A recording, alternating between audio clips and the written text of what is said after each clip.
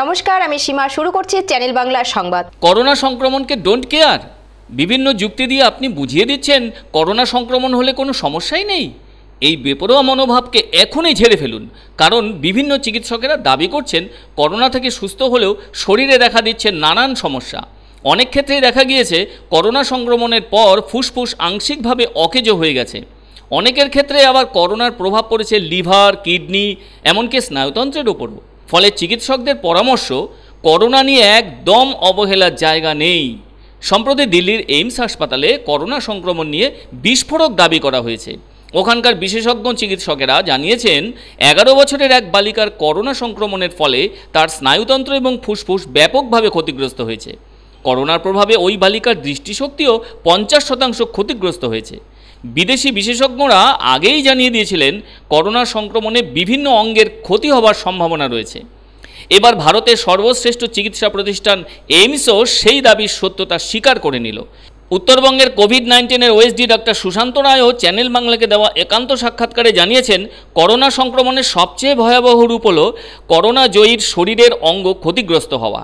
State স্বাস্থ্য দপ্তর থেকে বারবার সতর্ক করা হচ্ছে। আমরা নিজেরাও আপনাদের সতর্ক করছি। এটাকে না হালকাভাবে নেবেন না। হয়তো কিছুই হবে না।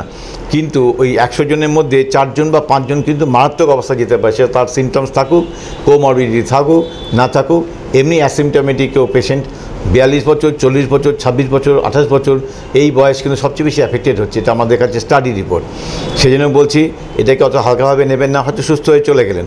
কিন্তু যখন সুস্থ হয়ে গেলেন, তার মাঝখানে কিন্তু আপনাদের ভাইটাল অর্গানস যেগুলো রয়েছে, সেগুলো কিন্তু অলরেডি এই কোভিড করোনা ভাইরাস কিন্তু ইনফেক্টেড করে দিয়ে সর্বনাশ করে দিচ্ছে। ওই জন্য ঘরে থাকুন, সতর্ক থাকুন, দুর্গাপুজোটা এবারে বাড়িতে করুন। জলপাইগুড়ি শহরের বিভিন্ন জায়গার রাস্তাগুলি বেহাল অবস্থায় পড়েছিল। বিশেষত গৌরীয় মঠ থেকে বিশ্ববাংলা ক্রীড়াঙ্গন সংলগ্ন রাস্তা দীর্ঘদিন ধরে বেহাল থাকায় চ্যানেল বাংলা রাস্তার দুরবস্থা তুলে ধরেছিল। চ্যানেল বাংলাতে খবর সম্প্রচারের পর জলপাইগুড়ি পৌরসভার প্রশাসক মণ্ডলীর সদস্য প্রতিশ্রুতি দিয়েছিলেন, পুজোর আগে রাস্তা সংস্কার করা হবে। সেই প্রতিশ্রুতি রক্ষা করল জলপাইগুড়ি পৌরসভা। দুর্গা উৎসবের ঠিক আগে গৌরীয় মঠ থেকে বিশ্ববাংলা ক্রীড়াঙ্গন পর্যন্ত রাস্তা সংস্কার শুরু করেছে জলপাইগুড়ি পৌরসভা। সোমবার থেকে যুদ্ধকালীন তৎপরতায় এই রাস্তা সংস্কার শুরু হয়েছে। বুধবার চ্যানেল বাংলার ক্যামেরায় ধরা পড়ল সেই ছবি। জলপাইগুড়ি পৌরসভার প্রশাসক মণ্ডলীর সদস্য সন্দীপ মাহাতো বলেন, আমরা আগেই কথা দিয়েছিলাম, পুজোর আগে বেহাল রাস্তাগুলির সংস্কার করা হবে। সেই প্রতিশ্রুতি পালন করছে জলপাইগুড়ি পৌরসভা। মোট বারোটি জায়গায় রাস্তা সংস্কারের কাজ চলছে। গৌরীয় মঠ থেকে বিশ্ববাংলা ক্রীড়াঙ্গন সংলগ্ন রাস্তা তৈরি করার কথা ছিল শিলিগুড়ি জলপাইগুড়ি উন্নয়ন দপ্তরের। কিন্তু তারা সেই রাস্তার কাজ পুজোর আগে তৈরি না করায় পৌরসভাকে রাস্তা সংস্কার করতে হলো। সন্দীপবাবুর আশা, পরবর্তী সময়ে এই রাস্তা তৈরি করবে শিলিগুড়ি জলপাইগুড়ি উন্নয়ন পর্ষদ। না, আমরা পুজোর আগে বলেছিলাম যে ওই কাজটা এসডিডিএ করবে। কিন্তু এসডিডিএ কাজটা দেরি করার দরুন আমরা জলপাইগুড়ি পৌরসভা থেকে আমরা মানুষের কাছে বলেছিলাম যে এই কাজটা পুজোর আগে আমরা করে দেবো। তাই আজকে আপনারা দেখেছেন ওখানে কাজ শুরু হয়ে গেছে। আমরা গৌরীয় মঠের রাস্তাটা প্যাচ রিপেয়ারিংয়ের কাজ করে দিচ্ছি পর- পরবর্তীতে ওটা এসডিডিএ ভালো মতো করে দেবে। তাছাড়া পুজোকে সামনে রেখে আমরা শহরে যে সমস্ত ভাঙা রাস্তা ছিল তার মধ্যে বাবুপাড়ার থেকে আপনি দেখেছেন, বাবুপাড়ার থেকে যে স্টেট ব্যাংকের যে রাস্তা গেছে, সেই রাস্তাও আমরা সংস্কারের কাজ আজ শুরু করছি। পাশাপাশি পোস্ট অফিস মোড়ে ওই রাস্তাও আমাদের সংস্কারের কাজ হচ্ছে। কদমতলাও ইভেন কি অনুপম, ডাক্তার অনুপম সেনের বাড়ির সামনেও কাজ, সংস্কারের কাজ হচ্ছে। এবং তার বাদে ইউরোকা ক্লাবের সামনেও রিপেয়ারিংয়ের কাজ হচ্ছে। কিং সাহেবের ঘাটের এখানে এসপি বাংলার ওখানে ওখানেও রিপেয়ারিংয়ের কাজ হচ্ছে। আমরা বারোটা বারোটা রিপেয়ারিংয়ের কাজ ইতিমধ্যে শুরু করেছি পুজোর আগে। প্রায় তিন বছর পর গোর্খা জনমুক্তি মোর্চার নেতাকে প্রকাশ্যে দেখা গেল কলকাতায় বিমল গুরুংকে। আজ বিকেল চারটে নাগাদ সল্টলেকের গোর্খা ভবনে ল্যান্ড রোভার সাদা রঙের একটি গাড়িতে করে আসেন তিনি। সেখানে তার সাংবাদিক সম্মেলন করার কথা ছিল, কিন্তু গোর্খা ভবনের কর্তৃপক্ষ দরজা খোলেননি এবং তাকে ঢুকতে দেওয়া হয়নি। ফলে তিনি অপেক্ষা না করে গাড়ি নিয়ে রওনা দেন। গোর্খা ভবন কর্তৃপক্ষ থেকে জানানো হয়, তারা কোনো রাজনৈতিক দলের প্রতিনিধিকে এখানে সাংবাদিক সম্মেলন করতে দেবেন না। দু হাজার সতেরো সালে দার্জিলিং এ অশান্তির পর তার বিরুদ্ধে ইউপিএ ধারায় মামলা রুজু করে পুলিশ দু সালের পর থেকে আর তাকে দেখা যায়নি তিনি ভিডিও বার্তায় বিভিন্ন সময় প্রকাশ্যে এসেছেন কিন্তু এই প্রথম সশরীরে তাকে দেখা গেল কলকাতায় প্রায় চল্লিশ মিনিট অপেক্ষা করার পর তিনি রওনা দেন দার্জিলিং এর উদ্দেশ্যে थोड़ा सा थोड़ा सा नीचे ले- ले- थोड़ा सा थोड़ा सा मास्क थोड़ा प्लीज नहीं नहीं प्लीज एक बार एक बार मास्क प्लीज एक बार एक बार please request request request you please thank you এই এক মিনিট এক মিনিট প্লিজ প্লিজ টুনটুন ক্যামেরাটা একটু তোল এক সেকেন্ড দাদা তোমার হয়ে গেছে ছবি তোলা হ্যাঁ হয়ে গেছে বেশ কয়েকদিন ধরে জেলা স্বাস্থ্য দপ্তরের পক্ষ থেকে জলপাইগুড়ি শহরের বিভিন্ন জায়গায় অ্যান্টিজেন টেস্ট করার প্রক্রিয়া চলছে ফলে বুধবারও অ্যান্টিজেন টেস্ট করা হয় পথ চলতি মানুষদের। করোনা পরীক্ষার জন্য এই অ্যান্টিজেন টেস্ট করাতে অনেকেই আগ্রহ প্রকাশ করছেন না। কেউ কেউ আবার নিজে থেকেও এসে টেস্ট করাচ্ছেন। এদিন শহরের বেগুনটারি মোড় এলাকায় পিপিই কিট পরে স্বাস্থ্যকর্মীরা অ্যান্টিজেন টেস্ট করাতে থাকেন। দুপুর পর্যন্ত তিরিশ জনের করোনা টেস্ট করা হয়। এদের মধ্যে দুজনের পজিটিভ ধরা পড়েছে বলে জানা গেছে। উল্লেখ্য প্রায় এক সপ্তাহ ধরে চলছে অ্যান্টিজেন টেস্ট নাকের ভেতর থেকে রস নিয়ে ওই পরীক্ষা হয়। তবে করোনা সংক্রমণ সম্পর্কে উত্তরবঙ্গের কোভিড নাইন্টিনের ওএসডি ডক্টর সুশান্ত রায় জানান, জলপাইগুড়ি শহর সহ জেলাতেও করোনা রোগীর সংখ্যা বাড়ছে। জেলায় করোনা সংক্রমিত রোগীর সংখ্যা সাত হাজার ছাড়িয়ে গিয়েছে। তিনি আরও জানিয়েছেন উপসর্গহীনদের কাছ থেকে ওই সংখ্যা বাড়ছে। তাছাড়া গোষ্ঠী সংক্রমণের কথা তো মুখ্যমন্ত্রী অনেক আগেই স্বীকার করে নিয়েছেন। রাস্তায় বের হওয়া মানুষদের একাংশকে প্রায়শই মাস্কবিহীন অবস্থায় দেখা যায়। যা কখনোই উচিত নয়। এর ফলে করোনা সংক্রমণের প্রভাব বেড়ে যাওয়ার সম্ভাবনা তৈরি হয়। জেলা স্বাস্থ্য দপ্তর সূত্রে জানা গেছে, যদি দ্রুত হারে জলপাইগুড়ি জেলায় করোনা রোগীর সংখ্যা বাড়তে থাকে, তবে কিন্তু মুশকিল হয়ে পড়বে চিকিৎসার ক্ষেত্রটি।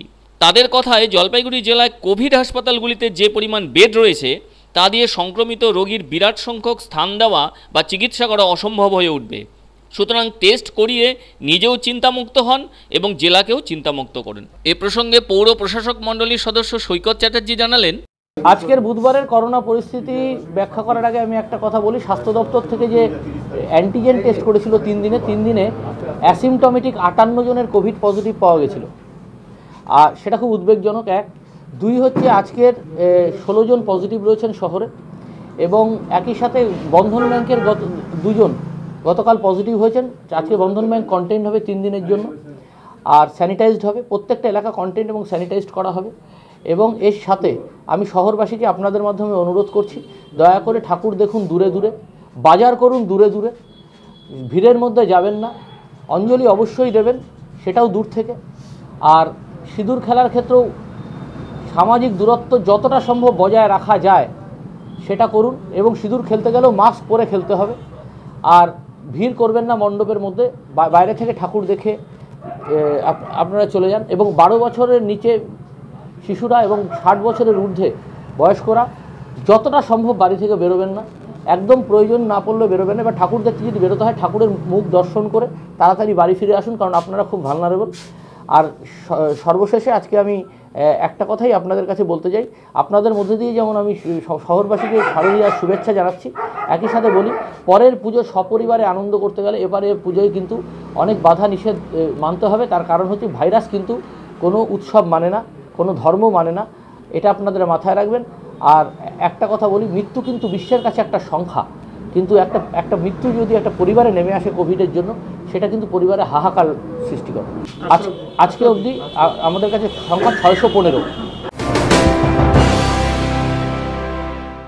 জলপাইগুড়িতে যে কয়েকটি ফুল ও ফলের নার্সারি রয়েছে, তার মধ্যে অন্যতম হলো ডেফোডিলস নার্সারি, যার বয়স এখন ষাট বছর।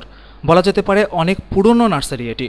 এই নার্সারির জন্মদাতা প্রয়াত বাসুদেব ভট্টাচার্য। আজ তার ছেলে সুব্রত নার্সারির দেখভাল করে চলেছেন পুরোপুরি বাণিজ্যিকভাবেই জলপাইগুড়ি শহর থেকে চাউলহাটি যাওয়ার রাস্তার পাশেই পড়বে ডেফোডিলস নার্সারির দেখা। জায়গাটি দেবনগরের মধ্যে পড়ে। ভেতরে ঢুকে দেখা গেল আউটডোর ও ইনডোর প্ল্যান্টের ছড়াছড়ি। কি নেই সেখানে? রকমারি পাতাবাহার থেকে বিভিন্ন ধরনের ফুল ও ফলের গাছ। প্রচুর চারা তৈরি করা হয়েছে বিক্রির জন্য। বড় মাপের এই নার্সারিটি পরিচর্যার জন্য লোক থাকলেও সম্পূর্ণ বিজ্ঞান ভিত্তিক নির্দেশ দিয়ে থাকে সুব্রত বাবুই এখানে রয়েছে চারশো আউটডোর প্ল্যান্টস এবং প্রায় দুশোর মতো ইনডোর প্ল্যান্টস বিদেশি ফুল ও ফলের গাছও রয়েছে। তিনি অনেক কম দামে ফুল ও ফলের চারা বিক্রি করে থাকেন বলে জানিয়েছেন। এক কথায় নার্সারিটিকে বাণিজ্যিক ভাবনায় তৈরি করেছেন পেশায় স্কুল শিক্ষক সুব্রত ভট্টাচার্য। তার বাগানে রয়েছে কফি গাছ। তাতে কফি ফলও ধরেছে। রয়েছে চেরি গাছ, পার্পেল পেয়ারা, থাইল্যান্ডের পদ্ম, জবা, এমনই অনেক ধরনের গাছ। বারো মাসের কাঁঠালের চারাও রয়েছে। বেশ কিছু ক্যাকটাসও লক্ষ্য করা গেল। আমরা ধরে আছে আমরা গাছেও। তবে নার্সারির ভেতরে প্রচুর ফুলের টব রাখা আছে নানা মাপের। এগুলোও বিক্রি করে থাকেন বাজারের থেকে অনেকটাই কম দামে। নার্সারির ভেতরে দুটো বড় মাপের টবে আপেল গাছ দেখা গেল। এ প্রসঙ্গে সুব্রতবাবু জানালেন, জলপাইগুড়িতে তিনি প্রথম আপেল চাষে আগ্রহ প্রকাশ করেছেন। দু ধরনের ভ্যারাইটি রয়েছে আপেলের। একটি হলো এইচআরএমএম নাইনটি নাইন এবং অপরটি হলো গোল্ডেন ডিজার্ট তবে তিনি দাবি করলেন, আগামী ফেব্রুয়ারি মার্চ মাসেই তার কাছে আপেল ফলবে। চ্যানেল বাংলা থেকে আমরা চলে এসেছি দেবনগরে। এমন এক জায়গায় আমরা এসেছি যেখানে ফুলের বাগান আছে আর বিভিন্ন ধরনের এই নার্সারি আছে। তো এই নার্সারি কেন করা হচ্ছে বা এখানে এত সুন্দর ব্যবস্থা আছে?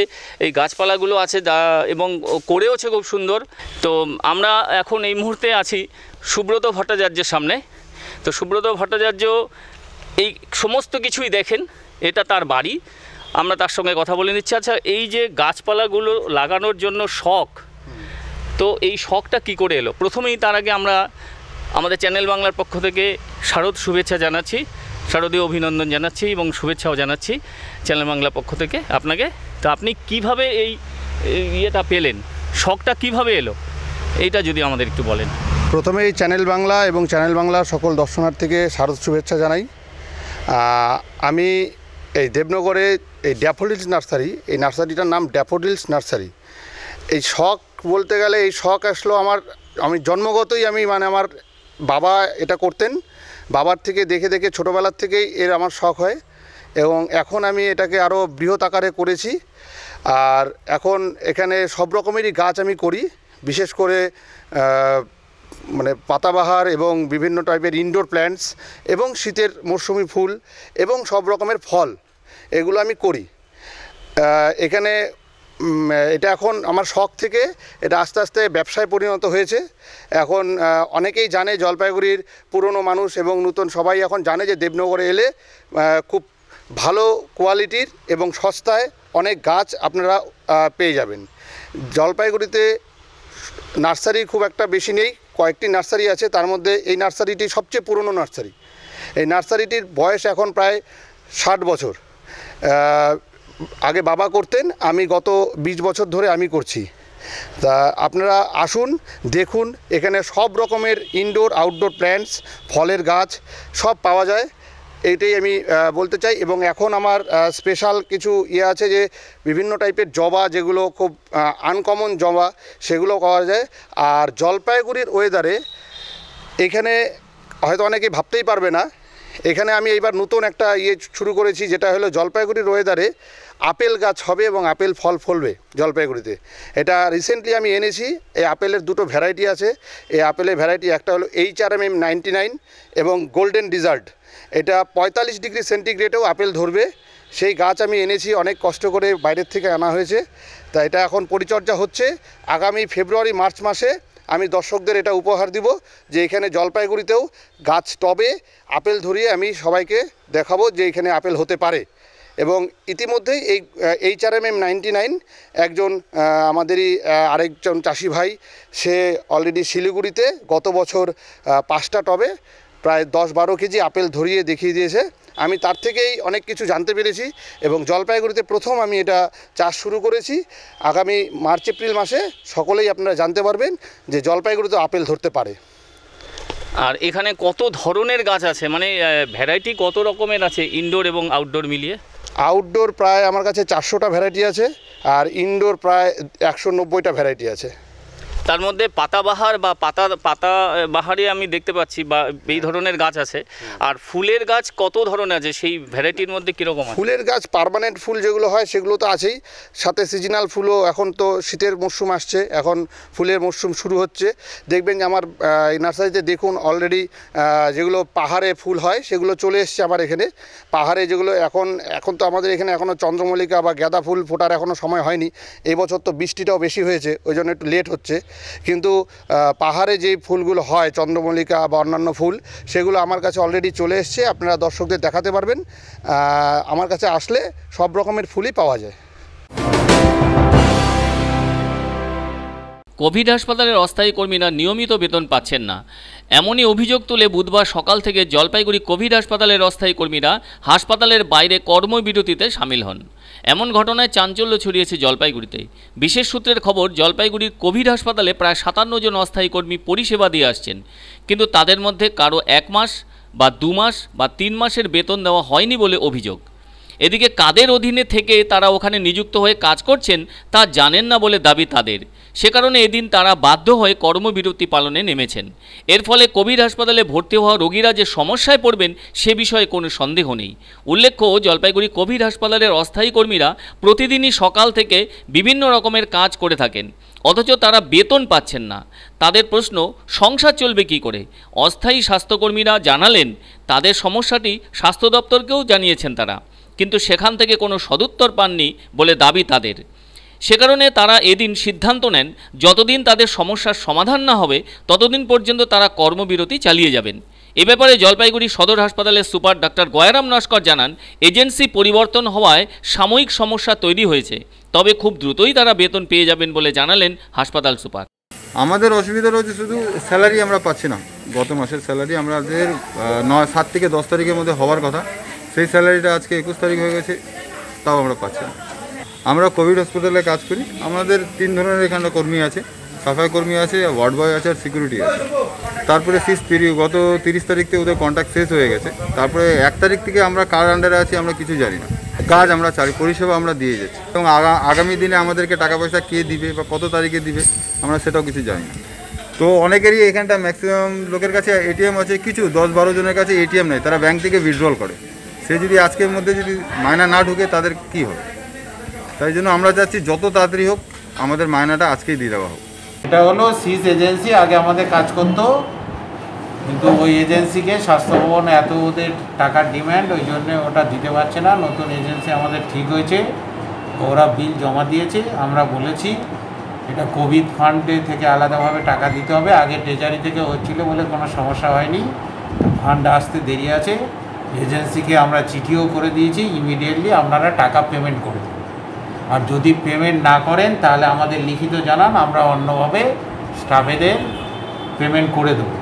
তো ওরা আজকেরই পেমেন্ট করে দেবে বলেছে। এই পর্যন্ত কথা হয়ে আছে। বাঙালির জাতীয় উৎসব দুর্গাপুজো শুরু হয়েছে। আর অদ্ভুতভাবে মাতৃ আরাধনার মধ্যে পূজিত হলেন মুখ্যমন্ত্রী মমতা বন্দ্যোপাধ্যায় পশ্চিম মেদিনীপুরের জঙ্গলমহলে। অথচ কথিত আছে, আদিবাসী সম্প্রদায়ের মানুষ মূর্তি পুজো করেন না। এরা পুজো করে থাকেন প্রকৃতির, তবে তার সাথে পুজো করে থাকেন মানবিকতা ও মায়ের। আজ থেকে পনেরো বছর আগে যখন আদিবাসী তরুণী সরস্বতী হাঁসদা দুর্গাপুজো শুরু করেছিলেন, তখন তাকে অনেক ঝড়ঝাপটা সহ্য করতে হয়েছিল। আজও তিনি সবসময় বলে থাকেন, মা দুর্গাকে যে মন্ত্রী উচ্চারণ করে ডাকো না কেন, আসলে পুজো তো হয় নারী শক্তির। তবে পশ্চিমবঙ্গের জঙ্গলমহলে আদিবাসী সম্প্রদায়ের মানুষ দেবীপক্ষের দিনগুলি অন্যরকমভাবে পালন করেন। পুজো দেন তবে মা দুর্গাকে নয়, জঙ্গলমহলের মা মমতা বন্দ্যোপাধ্যায়ের ছবিতে। বারো জন আদিবাসী ছেলে ও মেয়ে এবার অল ইন্ডিয়া মেডিকেল পরীক্ষায় উত্তীর্ণ হয়েছেন। তাই এদিন মমতা বন্দ্যোপাধ্যায়ের ছবির সামনে দাঁড়িয়ে তারা প্রতিজ্ঞা করেন, ডাক্তারি পাশ করে ফিরে আসবেন জঙ্গলমহলে। নিজেদের নিয়োজিত করবেন গরিব মানুষের সেবায়। অল ইন্ডিয়া মেডিকেলের সুযোগ পাওয়া ছাত্রছাত্রীরা বলেন, তাদের সম্প্রদায় মূর্তি পুজোতে বিশ্বাসী নয়, বিশ্বাসী প্রকৃতি পুজোয়। এদিন অবশ্য একটু অন্য ভাবনায় মানবিকতার পুজো পালন করলেন জঙ্গলমহলের কৃতি ছাত্রছাত্রীরা।